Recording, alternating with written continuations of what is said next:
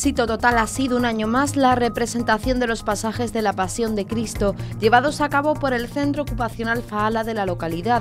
Sus usuarios han vuelto a demostrar que con constancia y esfuerzo cualquier reto es superable. El pasado viernes en la Casa de la Cultura tuvo lugar un recital poético organizado por la Asociación UNSI por la Vida, titulado Compartir es Vida, una actividad en la que colaboró el Ayuntamiento y que fue a beneficio de Caritas Parroquial. Con el objetivo de fomentar la lectura y amor por la literatura, se ponen en marcha diversas actividades por parte del consistorio. Una de ellas es un concurso de marcapáginas y la otra el concurso Atrapa la Poesía. Con un bonito mensaje sobre la eliminación de estereotipos y etiquetas, se celebró el pasado sábado un cuentacuentos en la Biblioteca Municipal, cuyos protagonistas fueron Carla y todos los niños asistentes. Más de 80 personas están disputando desde la semana pasada el primer torneo de padel de Semana Santa. De esta forma, los jugadores pueden poner sus habilidades a prueba mientras pasan un rato entretenido. Este fin de semana ha finalizado la cuarta edición de Tapeando en Cuaresma. El jurado profesional visitó el sábado los bares y restaurantes finalistas.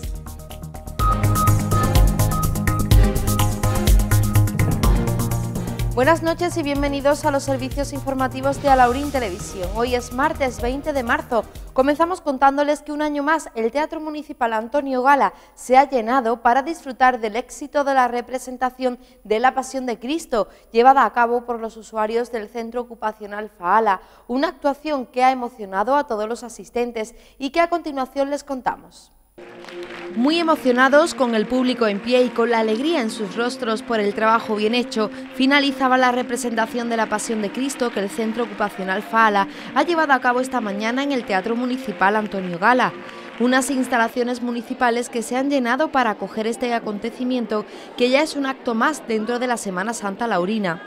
Tras la bienvenida de la concejala de Bienestar Social, María Jesús Fernández, y la directora del centro, Mari Carmen Torres, da inicio esta representación que cada año pone de manifiesto que con esfuerzo y constancia todo es posible.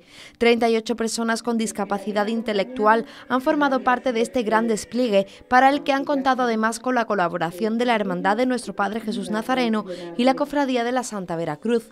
Este año además han contado con un nuevo pasaje, muestra del deseo de superación y de hacer más grande esta cita. De, San Juan hago mi papel todo año. Vamos muy bien. Pues pasamos bien, hay mucha gente, hay, a mí, a, todo, a todo el mundo, en un foro. Yo pasamos bien, mucha gente que venía, gracias a Dios por fiestas que ya, todos los años. Todos mi, mi compañero, ocho bien. Espérate. Y yo, a metido yo otra vez, hermano. Yo soy contenta y feliz por lo que está mucha gente aquí en el teatro, especialmente a, mi madre, que, que yo a mí la, la, quiero mucho. Muy bien, nosotros muy bien. Algunos han venido mucha gente afuera, hemos hecho papeles nuevos con los niños y eso. Bien, ha estado todo muy bien. Porque nosotros somos de Semana Santa y lo sentimos, lo llevamos siempre aquí dentro, en nuestro corazón. Tras la finalización se les ha hecho entregado un diploma recuerdo de su participación. La alcaldesa Toñi Ledesma, así como la delegada de Salud y Bienestar Social Ana Isabel González, que han sido testigos de esta escenificación, fueron las encargadas de repartirlos. Enhorabuena y, muchas y, mis felicitaciones pues por, porque no habéis puesto los pelos de punta. A mí la alcaldesa me, invitó personalmente a esta representación y, la verdad que ha sido un honor estar con vosotros, un placer. De nuevo decirle a todos los profesionales el gran trabajo que realizan en FAALA, que vosotros, muchos familiares que estáis aquí, lo veis del día a día, la evolución que están teniendo, la evolución que tienen y que esto demuestra que todo es posible. ¿no? La alcaldesa, por su parte, felicitaba a todos los que han hecho posible esta representación por su trabajo y se mostraba orgullosa de todos ellos. Creo que hoy es un día para sentirnos orgullosos orgullosos del trabajo que se viene desarrollando desde hace muchísimo tiempo, del esfuerzo de todos estos chicos y chicas eh, hacen a diario, de sus familiares, de todo lo que han trabajado a lo largo de los años, todo el esfuerzo, toda la lucha de los profesionales de FALA, de los voluntarios. Igualmente explicaba que con eventos como estos se ponía de manifiesto la importancia de continuar trabajando por las personas con discapacidad. Nos anima a seguir trabajando en proyectos importantes que sabéis que tenemos y que vamos a seguir luchando por ellos. Yo estaba hablando con la delegada, estamos, tenemos bueno, pues ese gran proyecto de nuevo centro ocupacional en el que se viene trabajando tanto la Junta como el Ayuntamiento y esperamos que pronto pues, pueda ser una realidad, pero con personas como las que hay aquí en el teatro, como los familiares, como los amigos, como los profesionales y con estos actores que hoy hemos tenido aquí, yo creo que nada se va a resistir. Así que enhorabuena a todos y muchísimas felicidades. Desde el centro también se agradeció a todos los presentes su apoyo, pasando por el ayuntamiento, trabajadores, voluntarios y por supuesto usuarios. Emocionada, contenta y bueno, orgullosa, sobre todo orgullosa, porque sé que el esfuerzo es muy grande y yo sé que lo han hecho, han puesto todo todo lo que tienen encima del escenario y sobre todo pensaba que es una muestra de, del trabajo de día a día ¿no? y quizás estas cosas son necesarias para todos los que estamos en el día a día, pues disfrutando de lo bueno, pero también sufriendo la, las carencias y, las necesidades que nuestro colectivo muchas veces tiene.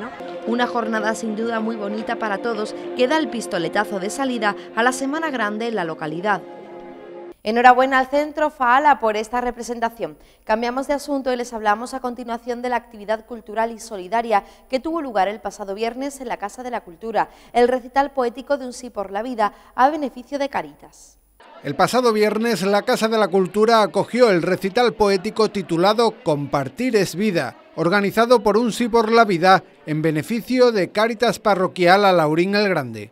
Los asistentes aportaron en la entrada alimentos no perecederos que eran destinados a familias necesitadas. Es una iniciativa estupenda, porque además de los beneficios materiales que pueda conseguir, está también el inculcar a la gente la necesidad de ayudar a Caritas, porque ayudar a, Caritas es cumplir, el cumplir el mandamiento de ayudar al prójimo, que dice amar al prójimo como a ti mismo. Un interesante cartel cultural y solidario coordinado por la voluntaria Lourdes Hernán, en el que participaron altruistamente los rapsodas Rafael Azuaga, Antonio José Royuela, Chelo Teseira Rojo, y también Antonio García Pereira y Rafael Luna García, con el acompañamiento a la guitarra de Antonio García Lili.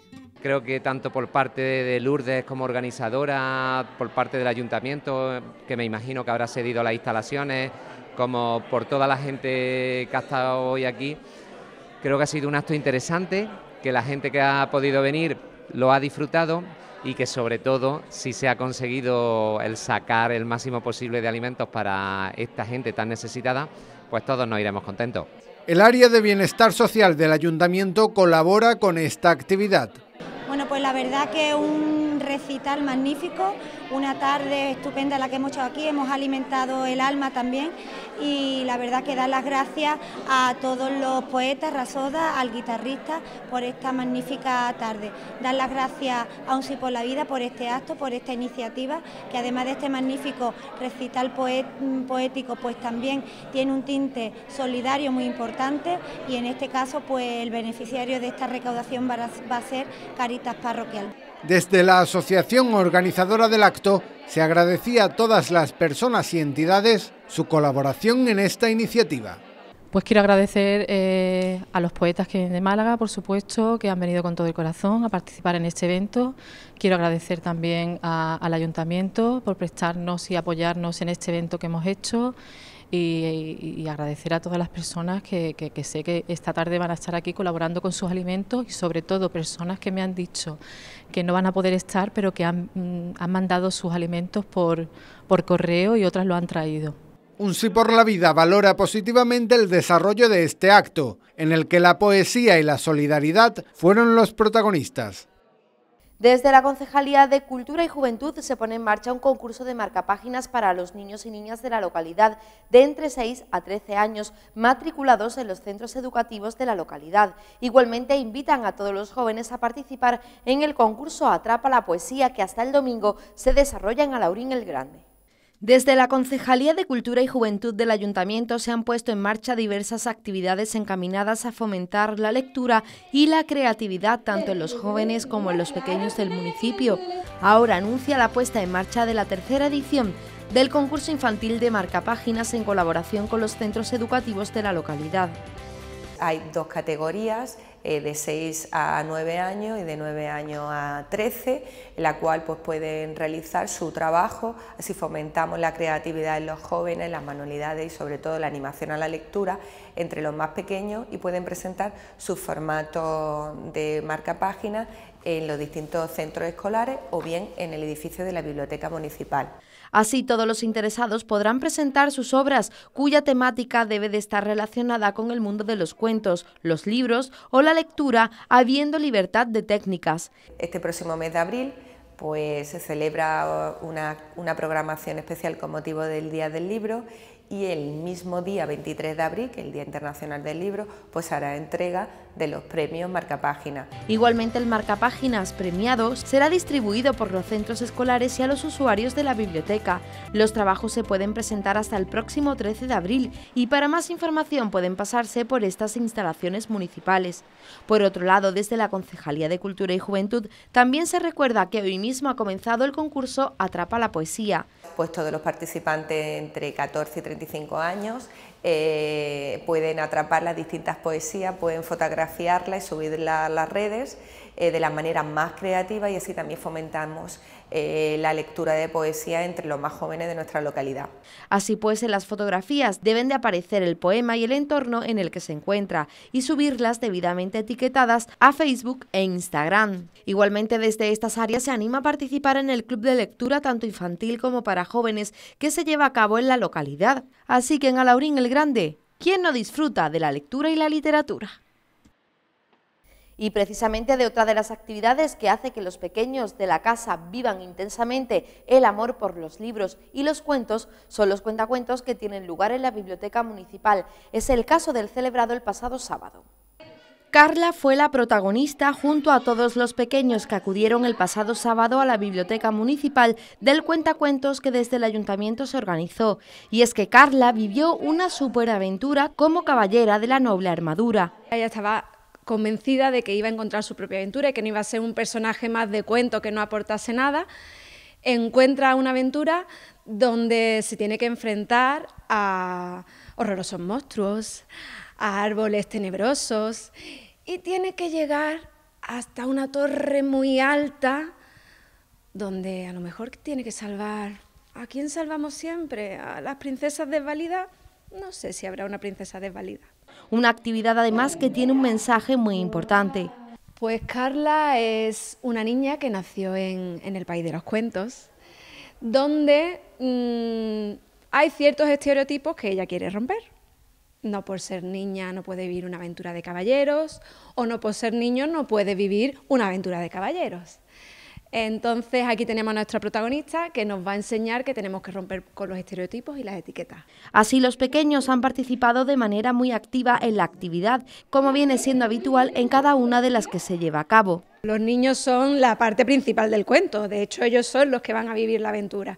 Ellos son los que se enfrentarán a los monstruos, ellos son los que se van a encontrar con esos árboles tenebrosos que igual los asustan, que le hacen cosquillas, y ellos son los que tendrán que subir a esa altísima torre, ¿se atreverán? Otra actividad, por lo tanto, que se une a las iniciativas para el fomento de la lectura y el amor por los libros.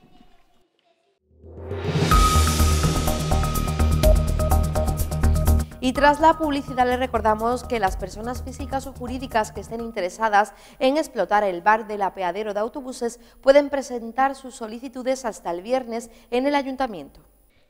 Informamos que continúa abierto el plazo para solicitar la explotación del bar cafetería del edificio del apeadero de autobuses. Se trata de un contrato que se licita por el periodo de tres años, prorrogable un cuarto año y que tiene un tipo de licitación base de 2.500 euros al año masiva, siendo un procedimiento que se hace al alza y este valor es un valor mínimo. A primeros de mes abrió el plazo de la licitación de este establecimiento hostelero al que se pueden presentar personas físicas y jurídicas. El valor estimado del contrato es algo superior a los 9.800 euros.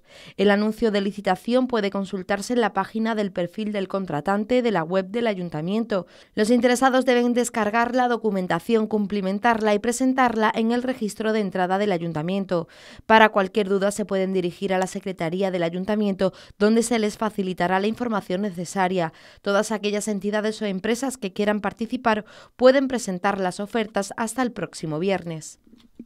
Ya lo saben, tienen hasta el viernes para hacerlo. Vamos con deporte, con el primer torneo de pádel de Semana Santa en la localidad, una competición que reúne a más de 80 participantes de todas las categorías y edades que jugarán durante las próximas semanas con el objetivo de echar un buen rato y aprender más sobre este deporte a Laurín el Grande vuelva a responder a la creciente demanda del pádel que en los últimos años se ha popularizado mucho por ser un deporte muy social y divertido, independientemente del nivel de juego y de la forma física que se tenga. De hecho, la localidad cuenta con instalaciones muy buenas y cada vez más personas lo practican.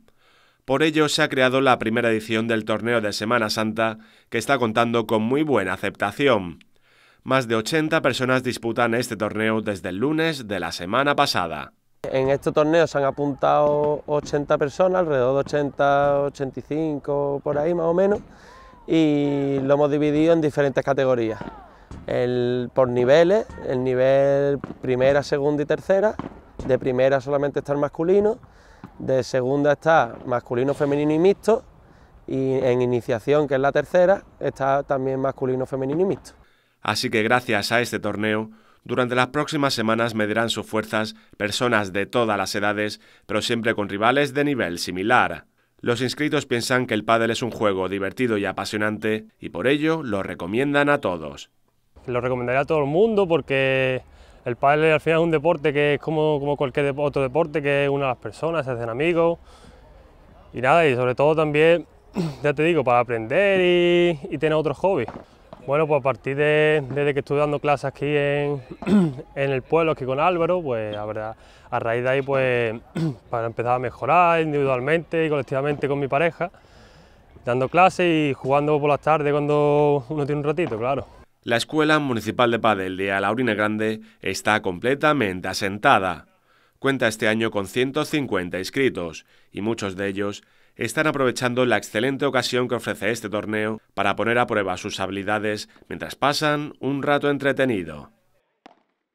Cambiamos de asunto. El domingo finalizó la edición 2018 de Tapeando en Cuaresma. La visita de los miembros del jurado a los bares y restaurantes finalistas ha tenido lugar este fin de semana y ya solo falta conocer cuáles han sido los ganadores. La alcaldesa de la localidad los acompañó en parte de la ruta.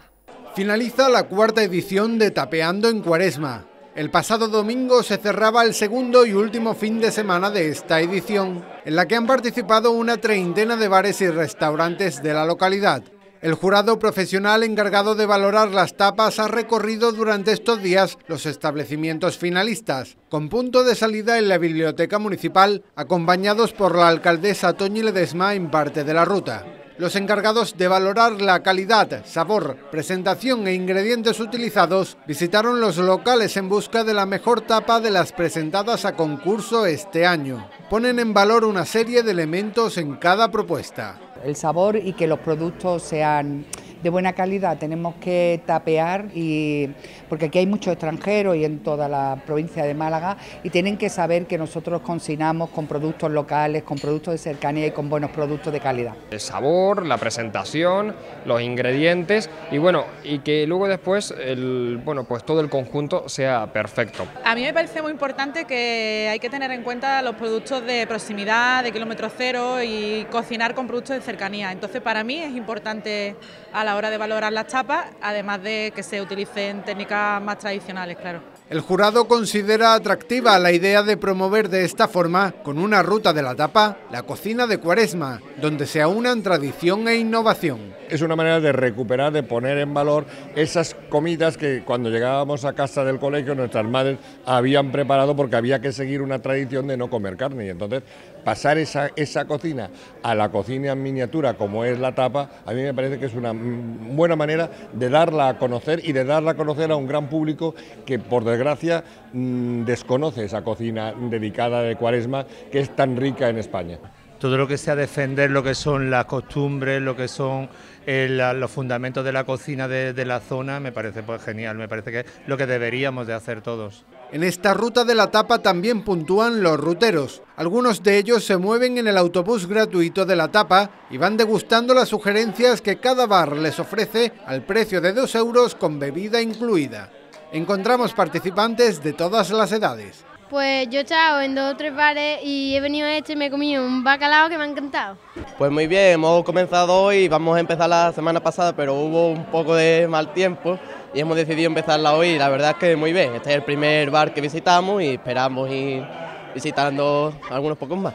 De maravilla. Y este año mejor que el año pasado. Hay mejores tapas. Eh, la gente, eh, los establecimientos parece que se están forzando más para, para que la la ruta sea bastante más interesante. Y es que en las cocinas, como dicen, se cuida hasta el último detalle para conquistar a todos los paladares. La tapa es bacalao a la gallega y con coliflor y patatas. Va hecho con un poco, vaya, va todo hervido y cocido y luego se le va como mojado así en aceite con pimentón, ajo y perejil. Es una jibia en salsa, lleva a base de un pisto, un punto picante, jibia, eh, gamba y langostino. El ingrediente principal, típico de, la Semana Santa, es el bacalao.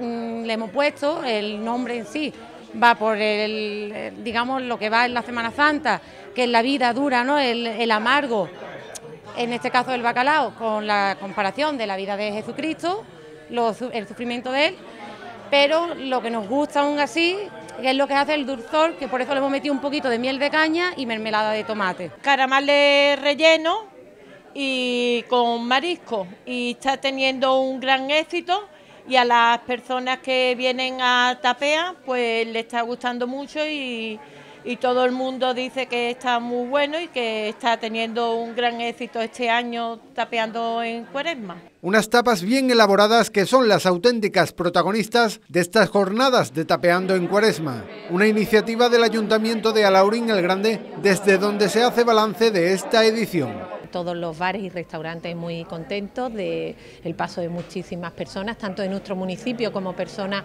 de fuera y nosotros desde el ayuntamiento, pues por supuesto, eh, orgullosos de que esto pues vaya cada vez creciendo más, esta ruta de la etapa de cuaresma, de que nuestros eh, empresarios y nuestros restauradores estén contentos y por supuesto de dar a conocer eh, pues algo muy bueno que tenemos en Alaurín, ¿no? que es nuestra gastronomía, nuestros productos y esta, esta riqueza que bueno que debemos de dar a conocer en torno a la Semana Santa, ¿no? estos platos típicos de Cuaresma. Ahora solo falta conocer el veredicto tanto del jurado como del público general y que se realicen los sorteos de premios entre todos los ruteros que hayan rellenado al menos un tapaporte. Eso será en los próximos días. Y ahora vamos a conocer la información del tiempo para mañana.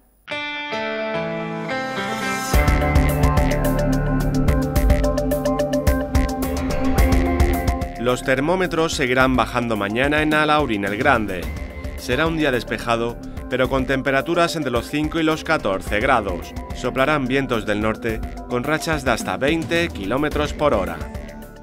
Tras el tiempo vamos al rincón de la fotografía y les invitamos a que nos manden fotos de la localidad con un mensaje al 678-597994. Estas son las imágenes de hoy.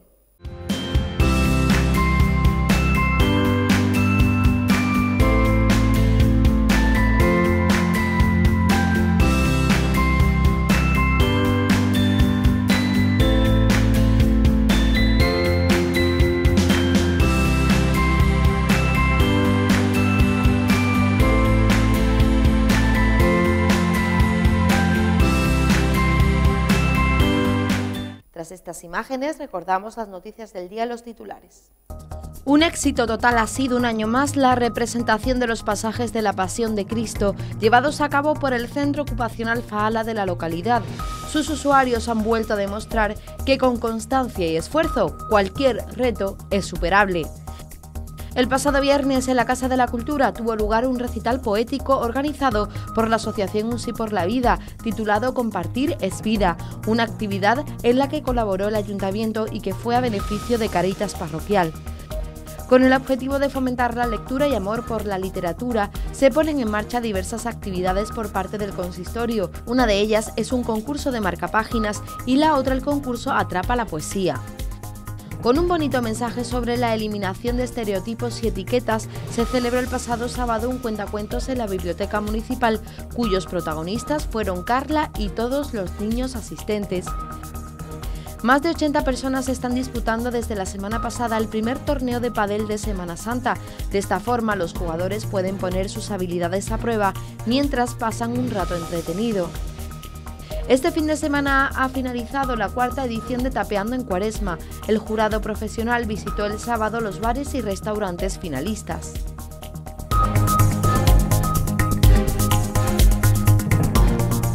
Llegados ya al final del informativo, les dejamos con las mejores imágenes vividas esta mañana en el Teatro Antonio Gala con la representación realizada por el Centro Faala.